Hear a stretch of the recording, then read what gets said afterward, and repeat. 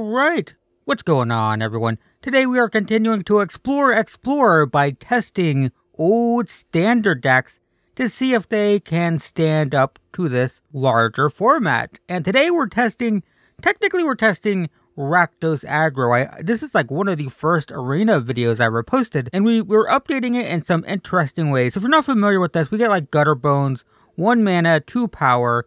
We get Knight of the Ebon Legion, which is a 1 mana 1 2 but if the opponent loses 4 or more life on our turn, gets a counter, and it can pump itself, we get Dreadhorde Butcher. It's a 2 mana 1 1 with haste. But when it dies, it deals damage equal to its power to any target, and it gets a counter every time it hits a player or planeswalker. Uh, we get Midnight Reaper, 3 mana 3 2. Whenever a non token creature dies, we take a damage and draw a card. And then the big payoff is Judith the Scourge Diva, which is a 3 mana 2 2. Other creatures we control get plus 1 plus 0. And then whenever non token creatures die, we deal 1 damage to any target. So all of this was in standard. This was a standard deck. But now we get a ton of updates. First off, we get this new aggro powerhouse, 2 mana 3 2, and it can be blitzed from your graveyard, so that's pretty great. But what's really cool about this is even though we're super aggressive, we have tons of 1 and 2 drops that lead into this Lord effect, we're also a mid range deck at the same time because we have planeswalkers that work with our aggro strategy. So, first off, we have Zariel. Is that how that's pronounced? First off, the plus one ability will give all of our creatures plus one, plus zero, and haste. So that's perfect for all of our aggro threats. But also, zero mana, make a 1 1 devil that when it dies, it deals a damage.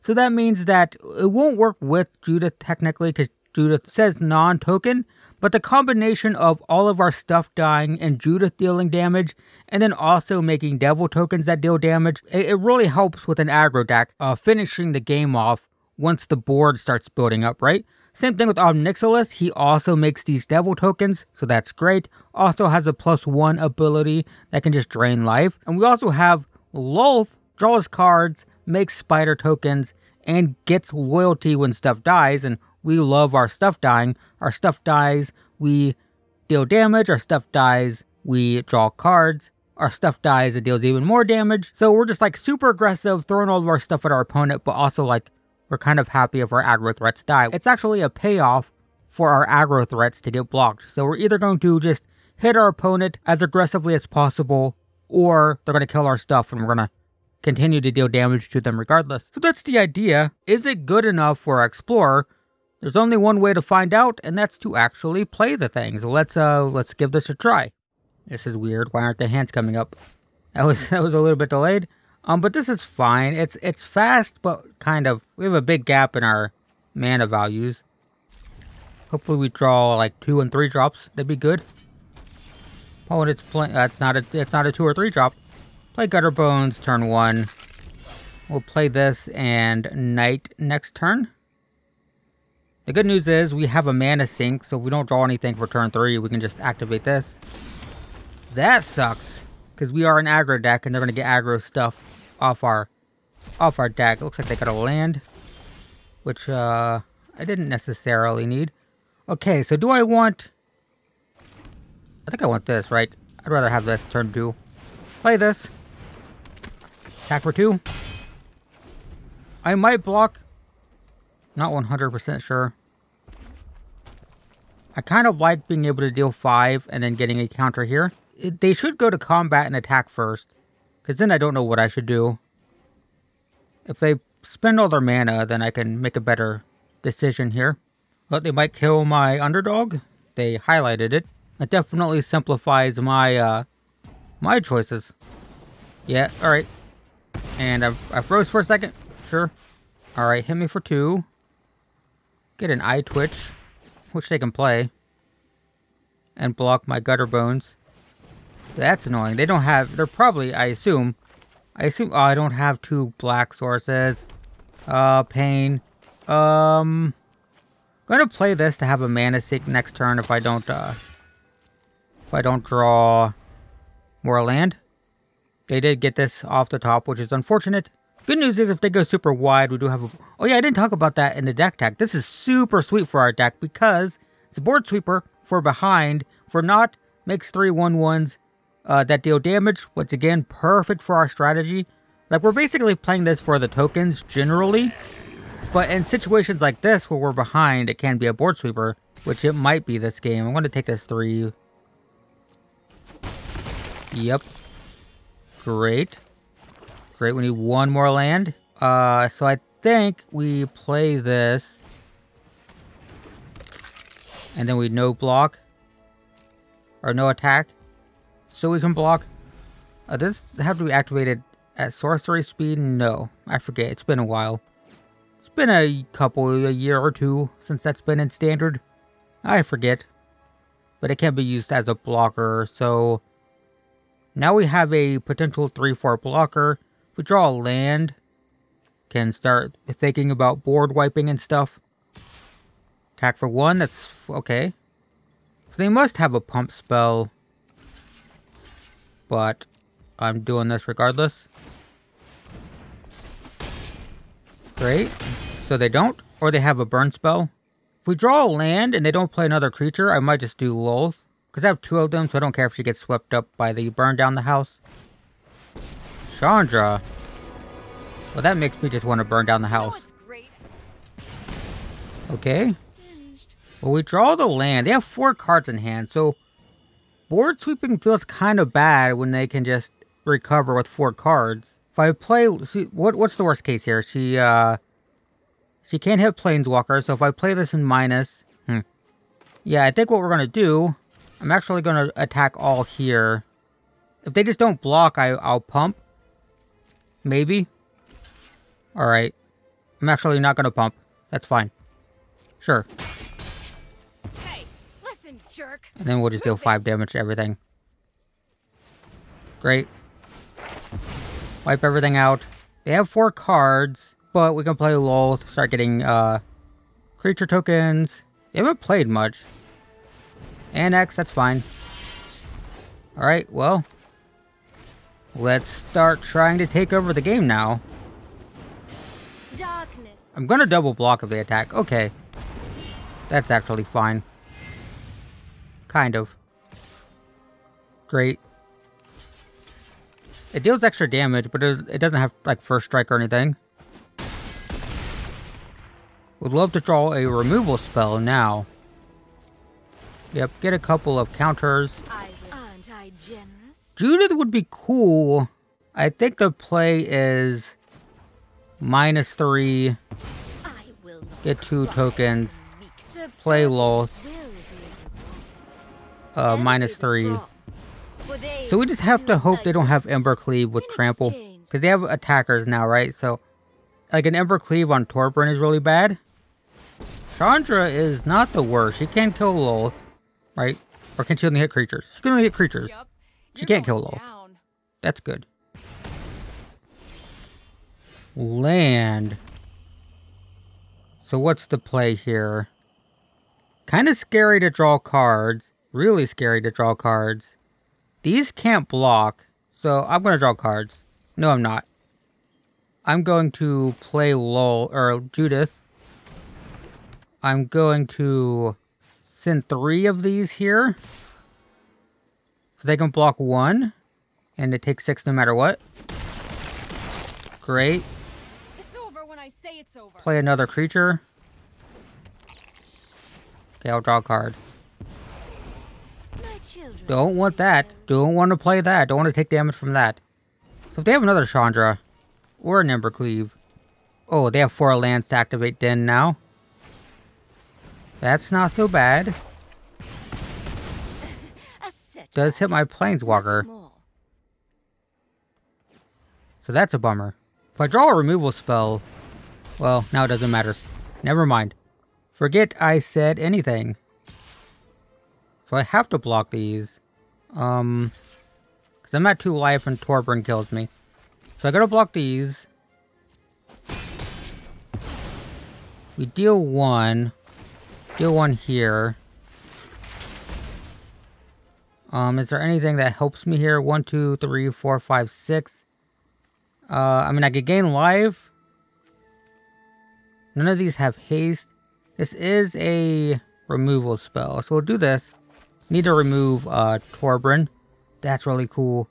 Alright, so probably just get rid of Torbran. Great. And then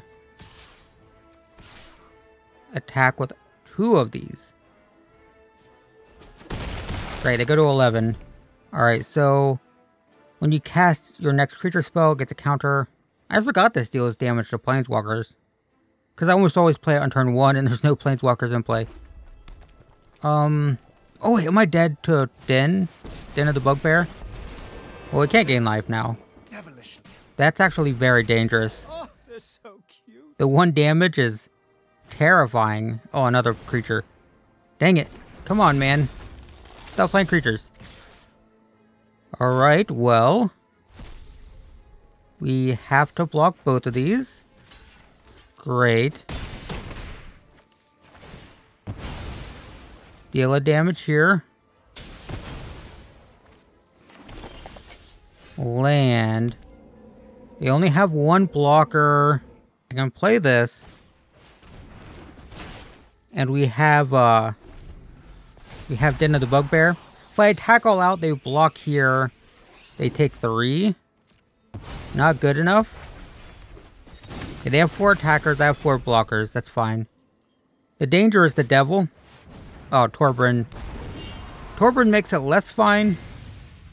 Torbran kills me with the devil dying. They attack all out, I'm dead. Okay. Yeah, that's it. Oh, because this devil dying, uh, it's gonna deal two damage to me. Because the Torbran gonna deal three damage, actually.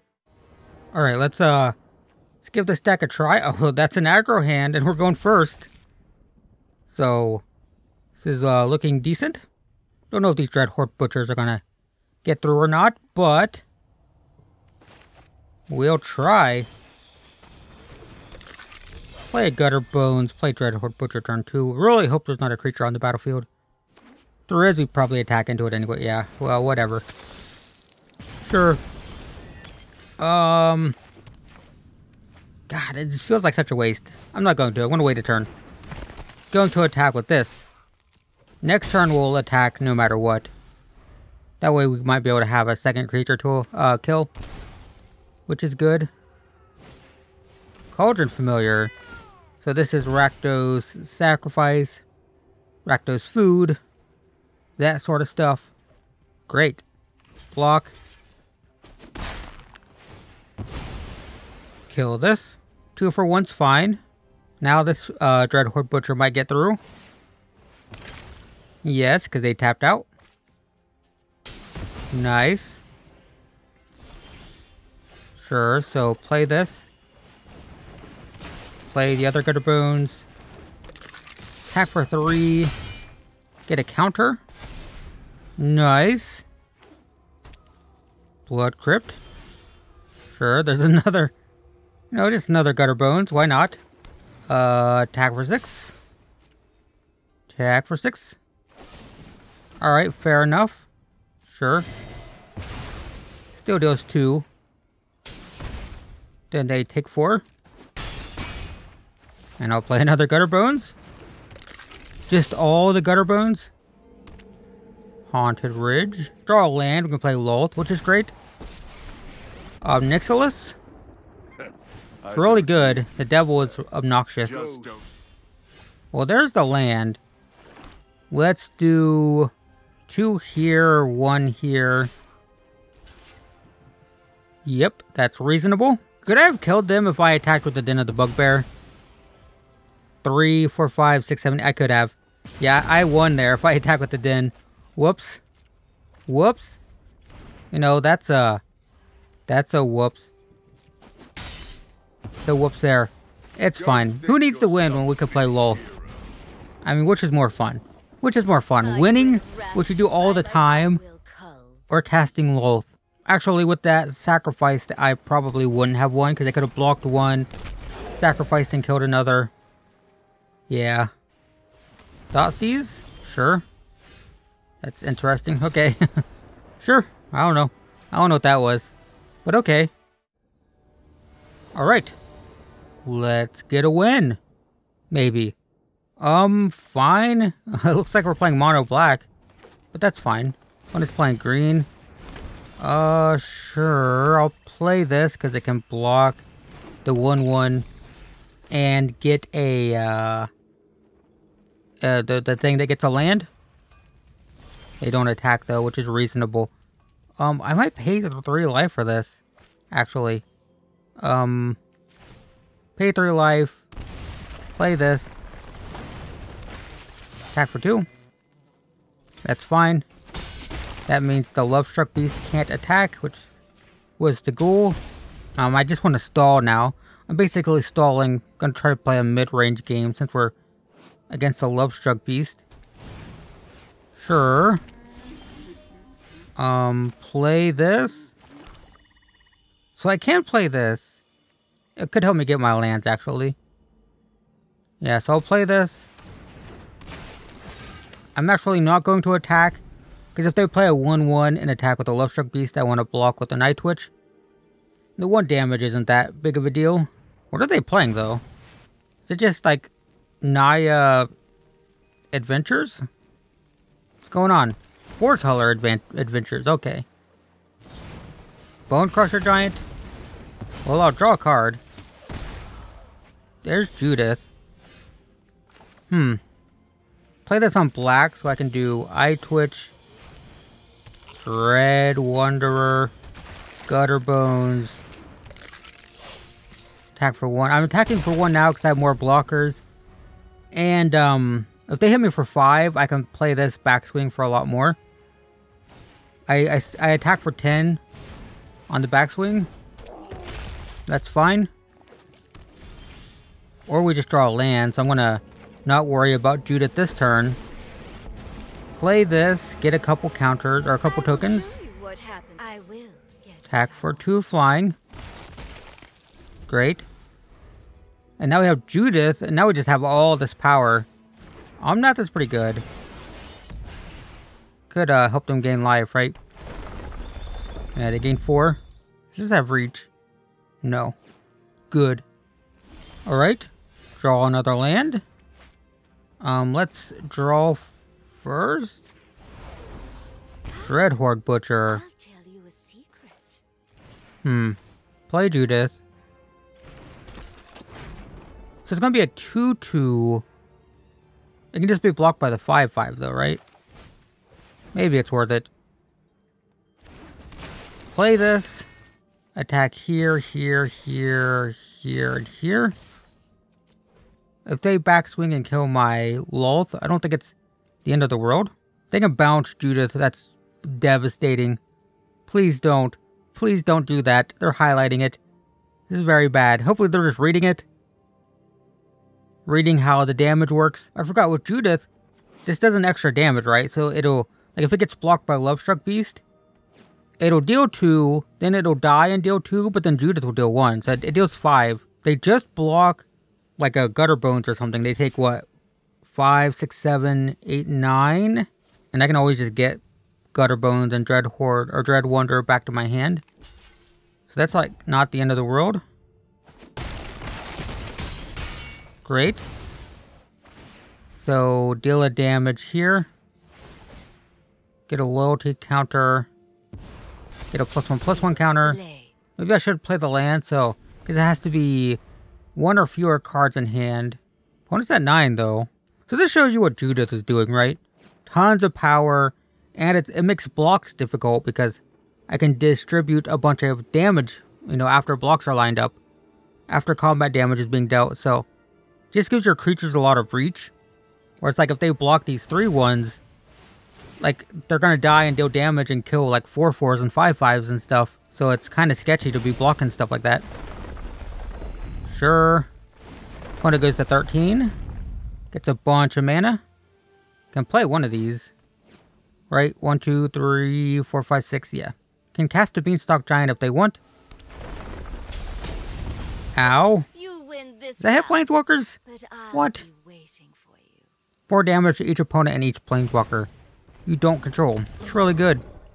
It's like it's modern playable or something. Um, sure. Deal a damage here. That might be game. Without Judith, this looks really bad. Judith is kind of important, and we haven't drawn any of our other Arzario Planeswalker. which also like really helps. All right, we'll play this. Does it have to deal damage? It's just no. You have two or fewer cards. So get this, and then I'm going to attack with one. I'll leave one back as a blocker to get the learn. One, two, three, four, five, six. I want to play this because if I draw land, I can play Mascot Exhibition. Reveals our hand, now they know we don't have anything. But if the Eye Twitch dies and we draw a land, we can play Mascot Exhibition. Yep. Let's hope this can't just magically gain trample with this one card. It cannot. Great. So we're going to get the Mascot Exhibition. So now, like, we're going to draw something useful no matter what, right? We're either going to draw action or draw the land for this. Worst case scenario is we draw a tap land, because then we just get nothing.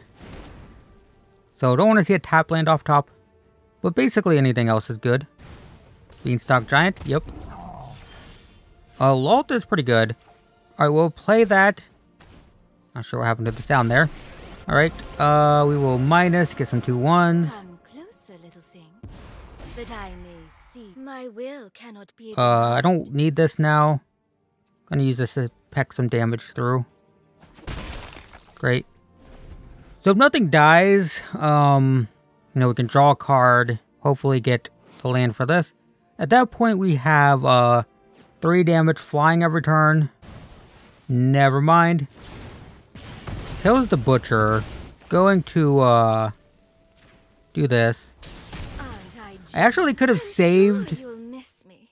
I could have saved Lolth by killing my own creature. I just realized that. Like, too late. Did she have one or two loyalty? If she had two, or she had one, she got a loyalty from Dread Horde Butcher dying, and if I would have, like, killed my own Eye Twitch, I actually would have gotten another counter. So, block here, because we have, like, infinite blockers, right? Block. Great. Sure. Well, there's the land. We'll just play that. Attack for one. When it goes to seven. Sure. Don't know why the the audio's like things aren't playing the audio correctly. I don't know. It's really weird. So they gain four. Cycling. So they're not going to gain life. That's nice. Never mind. They gained a life. Alright, so we block here. Block with one of these. Sure. Ooh. So let's, uh... What's more important to kill? Because I, I have these locked down by with the, like infinite blocking. This life is what's concerning me. I'm actually going to kill this. Great. And then we will attack for one, uh, three. I can just play this. They can't gain life anymore. We're gonna lose a couple more, uh, couple more thingies here, but that's fine. Block here. Great. Ooh, that is kind of exciting. Going to play this. No audio again. Gonna make a devil. My devotion to the Going to attack for a three flying. Going to return this to hand. And play it. Great. Now I can block these again. I can just keep getting this back. That's kind of terrifying. Oh god, lots of lucky clover. Life gain. Don't like the life gain. The good news is with these devils building up, they just constantly deal damage, right? This is an exile, so they can't use that to to damage uh this. Sure. Draw a card. Card draw is what's gonna kill me. Lucky Clover. Don't know why the audio doesn't play. It's really interesting. No attacks? That's weird. Alright, so... Gonna make another devil, actually. I'm just gonna keep making devils. That's all I need. You These don't have reach, so... Attack for three flying. Great. Return this. replay it with no audio. And this is an instant, so we'll hold that up. Opponent's at six. We're grinding away. This card draw is what I don't like. I might need to kill that end of turn. Maybe I should kill it now. Is it when you cast? Yeah. Maybe I should have just killed that. Just don't want them drawing cards. They have all of this stuff, though. They have so many cards. Uh, maybe I should just give up. Oh, that's not what I want to see. That's going to allow them to get some answer to my board. That might be it, actually. Um, negate is fine, actually. Don't know why there's no audio. No audio in my headphones. I don't know if it's getting through to the video. But I can't hear very much audio. Uh, that sucks. That sucks. That really sucks. And a Nugan. Can this go Planeswalkers? Can. Um, is there anything I can do? No. And that's the game. God dang it, man. Alright, so that's Judith aggro. What are my thoughts? First off, I think it's better than our record shows because our record is 1 and 2. But our two losses were super grindy and we were there, you know, we were grinding out the entire game. Just didn't quite have that edge to, to get on top. So I don't feel bad about our the two losses we had. And our win was pretty sweet. Um, what do I don't like about this deck? I don't think Dreadhorde Butcher is good enough in this build. I think it could be good in an all-out aggro deck with a lot of removal, like a, a Rakdos aggro deck that's more focused on like burn, so it can burn off a blocker. But we don't have ways to get rid of blockers, so it, it felt way too hard uh, to get that first attack. So it just felt kind of useless. Um, Midnight Reaper also might not be great. I mean, obviously drawing cards is awesome, but it just didn't feel too great. I don't know if it's that useful. Um, I do like this overlap of aggro and and mid range because I, I didn't talk about it in my intro, but like Gutter Bones, sure it's an aggro threat, it's a one mana two one, but it returns, and we saw that in the the adventure game where it just kept returning, kept blocking. Same thing with Dread uh Dread Wanderer. Um, also it's an aggro threat, one mana two one, but it just keeps coming back. So the fact that we have, oh, same thing with Tenacious uh, Underdog, right? We have all these aggro threats that come back from the graveyard, which makes them, you know, mid-rangey, right? Early game we have aggro, late game we have mid-range with these aggro threats uh, recurring. So I think it's a cool theme. I think it's it could work. It just felt a little suboptimal. I kind of want more of these. This Planeswalker's awesome, and I just didn't draw it enough. But if I'm going forward with the deck, I'm probably taking out Dreadhorde Butcher probably taking out Midnight Reaper and finding more uh, aggro threats in the low end. So yeah, that's my thought. We went 1-2. Deck felt strong. It just, no, we didn't win those those grindy matches, which is too bad. I guess that's the downside of playing a deck like this is, well, we are capable of being grindy with all the stuff up here. Um, it also means that we're top decking stuff that feels kind of bad late game. So we're kind of in this weird in-between uh, state. But overall, I kind of like the deck, and uh, I want to experiment with it more. Don't know if I'll record with it more, but I wanna wanna play around with the deck list. I think it could be pretty cool with uh, with a little tweaking. So there you go. Thanks for watching, and I will see you in the next one.